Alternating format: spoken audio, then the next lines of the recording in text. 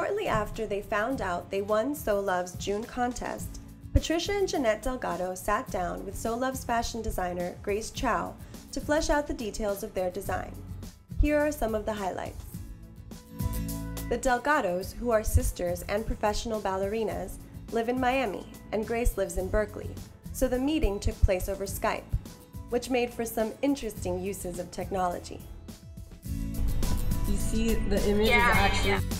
Patricia and Jeanette had a well thought out idea of the look they were trying to achieve.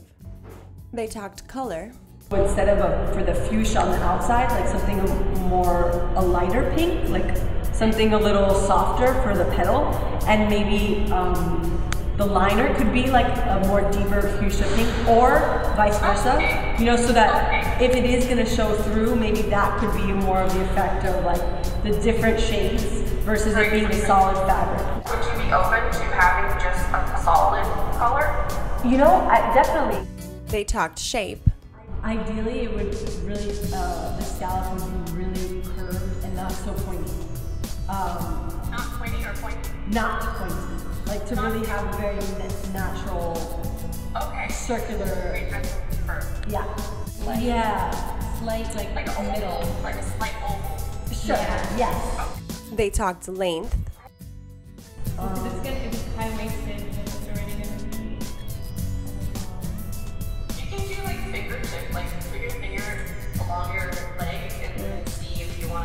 I almost feel like the, um, the pointy part should be a little bit below the fingertip.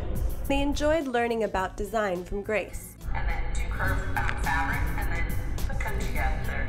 Sew it and then flip it. And they appreciated Grace's creative solutions to design challenges.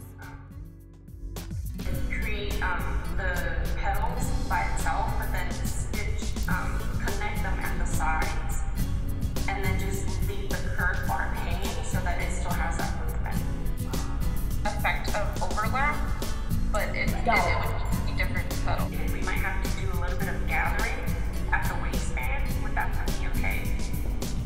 Yeah, I think that would be beautiful.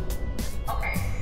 Just because in order for it to stretch, we have to have it At the end of the meeting, Grace asked them how they would style the tulip skirt, and we got a real sense of the sisters' individual style. Something like very simple, but I guess, yeah. But I guess. when when How would you dress it up? I would see like a. You could like dress it up with like a silky top that like you can kind of tuck in, but like bubble it out to the window. That a long oh. necklace that has a similar.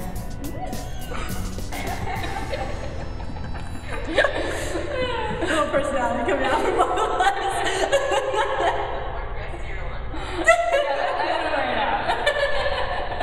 All in all, it was a really fun meeting, and we're all excited about the next steps.